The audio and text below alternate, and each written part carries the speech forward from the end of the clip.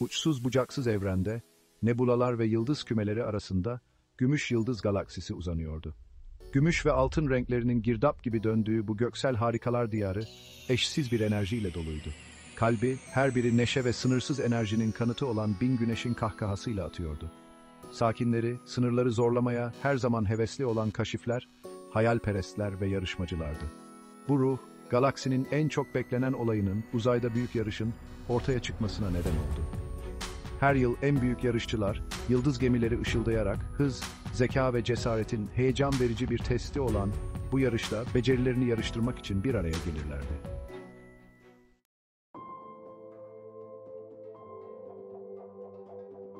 Uzayda büyük yarışın kalbi, efsanevi kozmik elmastı. Unutulmuş bir asteroitte bulunan kozmik elmas, evrenin kalp atışlarını yansıtan bir enerjiyle doluydu. Efsaneler, onun gücünün, hayal edilemez güç, bilgelik ve çekicilik bahşettiğini fısıldıyordu. Kozmik elmasa sahip olmak, yıldızlar arasında fısıldanan bir efsane olmak demekti. Kazanan, galaksinin kaderini elinde tutacak ve geleceğini şekillendirecekti. Yarışın başlamasıyla birlikte galaksi, nefes nefese kalmış bir beklentiyle izledi.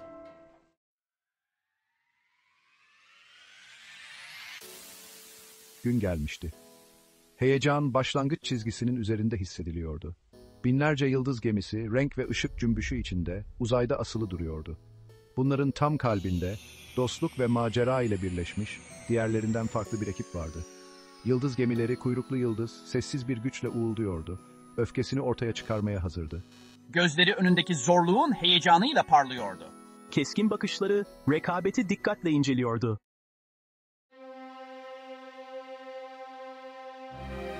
Başlangıç silahı yarışın başladığını işaret etti. Motorlar gürledi, yıldız gemileri ileri fırladı ve uzayda büyük yarış başlamıştı. Kuyruklu yıldız, arkasında bir yıldız tozu izi bırakarak ileri fırladı. İlk zorlukları olan zümrüt meteor yağmuru önlerinde uzanıyordu. Sancağı kır kaptan. Saat 3 yönünde büyük bir küme hızla yaklaşıyor.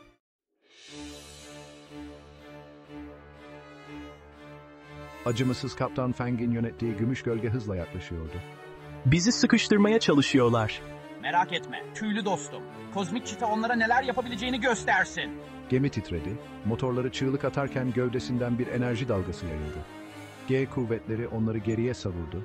Ancak Kaptan Çita, gözleri yolda sabitlenmiş halde sabit duruyordu. Hazırlıksız yakalanan gümüş gölge onların arkasında sendeleyerek kaldı.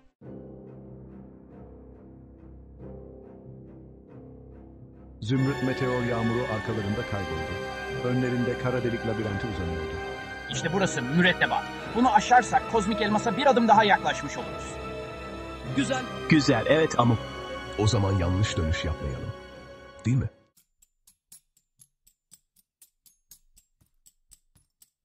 Kuyruklu yıldız labirentin ağzına doğru yaklaştı. Kütle çekim dalgalanmalarına göre bir rota çizdim. Onu bana bırak metal dostum. Ne yapıyorsun korsan? Merak etme kaptan. Bu yaşlı maymunun tehlikeyi sezen bir burnu ve örüntüleri çözen bir kafası vardır. Sola kaptan. Bu konuda bana güven.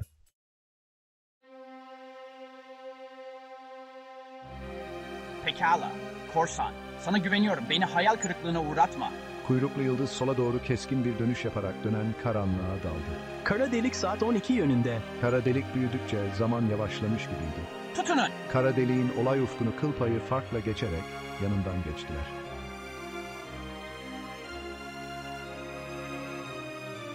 Kara delik labirentinin baş döndürücü derinliklerinden çıkan kuyruklu yıldızın mürettebatı, nefeslerini kesecek bir manzarayla karşılaştı. Önlerinde göz alabildiğine uzanan yıldız rüzgarlarının ve çatırtılı şimşeklerin bir kasırgası olan dönen bir kozmik enerji girdabı, kozmik fırtına hiddetleniyordu. Bu, uzayda büyük yarışın son ve tehlikeli engeli olan kozmik fırtınaydı. Yıldızlar aşkına diye nefesini verdi komutan Kartal, genellikle keskin olan gözleri hayranlık ve endişeyle açılmıştı. Böyle bir şey daha önce hiç görmemiştim. Onun gibi evrenin harikalarına ve tehlikelerine alışkın, deneyimli bir uzay gezgini için bile kozmik fırtına hem korku hem de saygı uyandıran bir manzaraydı. Çok muhteşem diye mırıldandı. Mekanik kaplumbağa fırtınanın tam güzelliğine bakarken her zamanki teknik titizliği bir anlığına unutulmuştu. Evreni bileşenlerine ayırmaya alışkın analitik zihni bile kozmik fırtınanın muazzam, kaotik ihtişamı karşısında küçülmüştü. Muhteşem. Belki dedi Kaptan Cheetah. Kuyruklu yıldızın kontrollerini kavrarken sesi gerginlikle doluydu. Ama kesinlikle ölümcül. Bunu atlatmak için elimizden gelenin en iyisini yapmamız gerekecek. Mürettebatına bir bakış attı. Bakışları her birinin yüzünde oyalandı. Karşılaştıkları tehlikenin sessiz bir kabulü, bilinmeyenle yüzleşirken onları bir arada tutan güven bağıydı bu.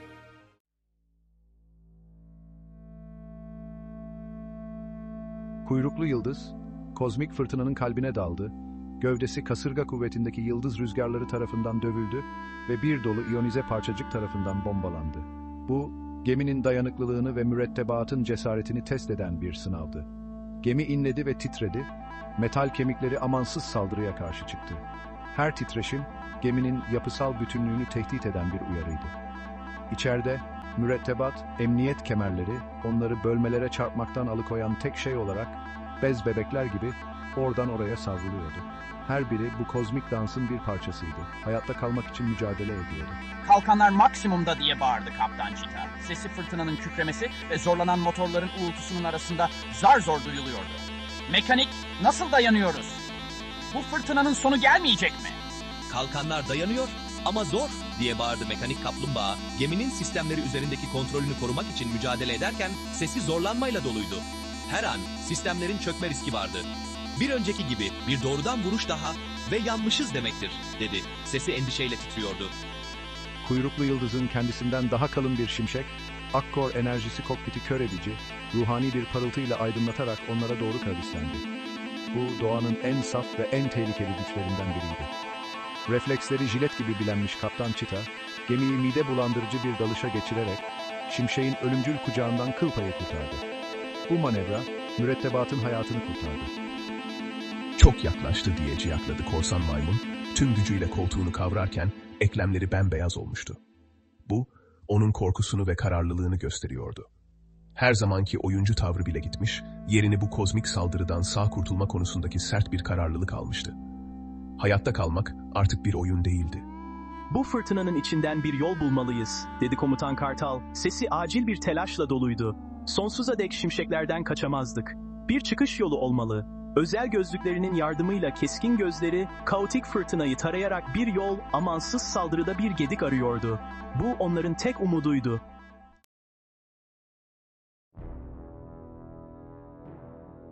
Orada tek şansımız bu. Herkes tutunsun. Komutan Kartal aniden, fırtınanın hiddeti arasında nispeten sakin bir girdap, dönen bir enerji girdabını işaret ederek haykırdı. Kaptan Cheetah tereddüt etmedi diye bağırdı. Kuyruklu yıldızın motorlarını son sınırına kadar zorluyordu. Gemi ileri doğru yalpaladı, kozmik girdapta gümüş rengi bir meydan okuma parçasıydı. Fırtınanın gözüne doğru yarıştılar, yolları kör edici ışık ve sağır edici gök gürültüsü arasında kaotik bir danstı. Kuyruklu yıldızın enerji imzasına çekilen şimşekler etraflarında patladı ve çatladı. Her biri bir ıskalama. Kaptan Cheetah'ın becerisinin ve geminin direncinin bir kanıtıydı. Asteroid tam önümüzde. Komutan Kartal'ın uyarısı, fırtınanın gürültüsü arasında neredeyse kaybolmuştu. Umutsuzluk onları yutmakla tehdit ediyordu. Bu kadar uzağa gelmişler, bu kadar çok şeyi aşmışlardı. Sadece kozmik bir kader cilvesi tarafından engellenmişlerdi. Bu yolculuklarının sonu muydu? Umutları ve hayalleri uzayın affetmeyen kayalarına mı çarpacaktı? S3. Meteors hitting a spaceship shield. Spaceship narrowly avoiding collision with asteroids. Etrafından dolaşacak kadar zamanımız yok. Ve kalkanlarımız doğrudan bir etkiye dayanamaz. Spir. Spacecraft with damaged shields. Spaceship with energy shields taking hits. Gördüm. Mekanik herhangi bir fikrin var mı?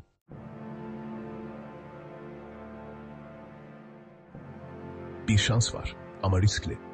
Asteroidin kütle çekimini kullanarak etrafında sapan gibi fırlatmamız gerekiyor. Çıldırdın mı? Bu intihar olur. Bir yanlış hesaplama ve paramparça oluruz. Tek seçeneğimiz bu. Yap şunu korsan, sana inanıyorum. Korsan maymun, gözleri korku ve kararlılığın karışımıyla büyümüş bir şekilde koltuğundan fırladı, kuyruğu canlı bir tel gibi ileri geri kırbaçlanıyordu. Sıkı tutunun millet. Bu biraz sarsıntılı olacak. Hesaplanmış bir motor patlaması ve kozmik güçlere bir dua ile korsan maymun, cüretkar manevrasını gerçekleştirdi. Asteroidin kütle çekimine yakalanan kuyruklu yıldız, devasa engelin etrafında korkunç bir hızla savruldu. Gemi inledi ve titredi. Metal kemikleri son sınırına kadar zorlandı. İçeride mürettebat koltuklarına yapışmıştı. G kuvvetleri onları parçalara ayırmakla tehdit ederken görüşleri bulanıklaşıyordu. Kalp durduran bir an için mahkum olmuş gibiydiler. Asteroidin affetmeyen yüzeyine ezilmeye mahkum edilmişlerdi.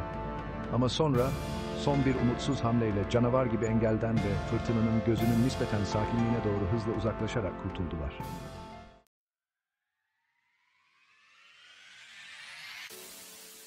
Kozmik fırtına yükseldiği kadar hızlı bir şekilde azalmaya başladı.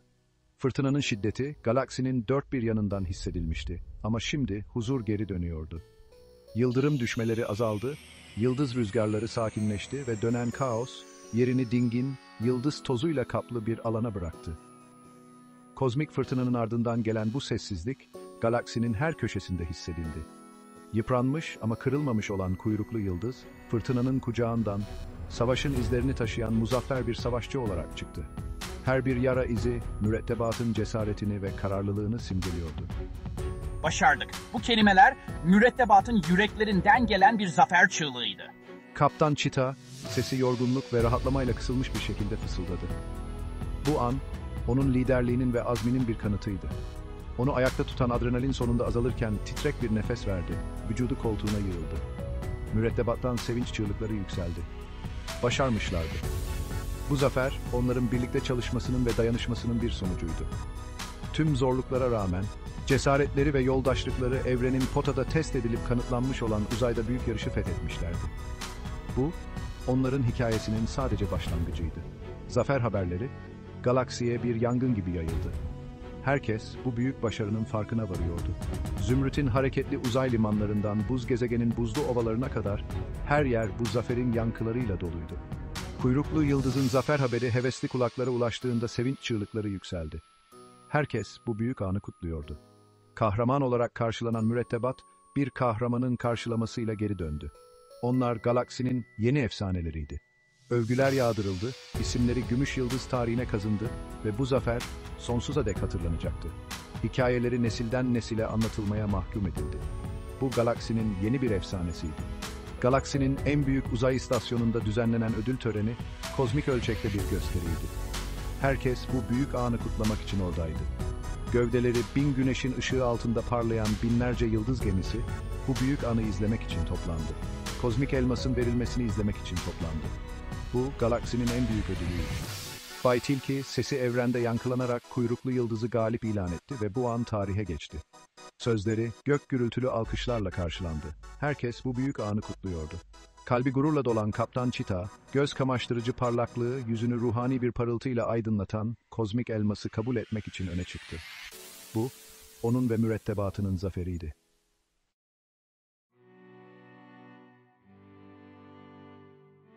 Sonunda uzayda büyük yarış sadece bir yarıştan daha fazlasıydı. Bu bir öz keşif yolculuğuydu. Ekip çalışmasının gücünün bir kanıtıydı. Her adımda, her zorlukta ekip üyeleri birbirlerine destek oldular. Birbirlerinin güçlerinden ve zayıflıklarından öğrendiler. Ve yıldızlar arasında bekleyen sınırsız olasılıkların bir kutlamasıydı. Kozmik Elmas, tüm gücü ve cazibesiyle kuyruklu yıldız mürettebatını zafere taşıyan maddi olmayan niteliklerin somut bir temsiliydi. Cesaret, kararlılık ve hayal gücü. Bu değerler onları bilinmeyene doğru iten güçlerdi ve kırılmaz bir dostluk bağı. Kutlamalar gece boyunca devam ederken, kuyruklu yıldızın mürettebatı bir arada durdu, bakışları önlerinde uzanan dönen yıldız halısına dikilmişti. Her biri bu anın büyüklüğünü ve anlamını derinden hissediyordu. Gözlerinde kazınmış sessiz bir söz vardı. Yolculukları bitmiş olabilirdi ama maceraları daha yeni başlıyordu. Galaksi, keşfedilmeyi bekleyen harikalarla, karşılaşılacak zorluklarla ve yazılacak hikayelerle doluydu.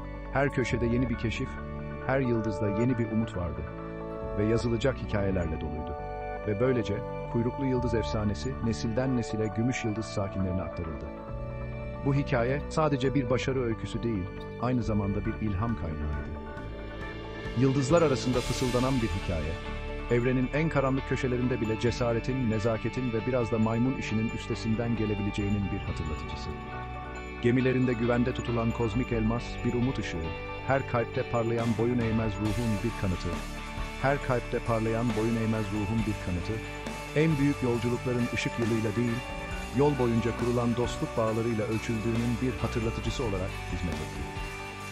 Bir zamanlar uçsuz bucaksız ve bilinmeyen bir alan olan galaksi, artık bir yuva gibi, hayallerin uçtuğu ve yıldızların peşinden koşma cesaretiniz olduğu sürece her şeyin mümkün olduğu bir yer gibi hissediliyordu.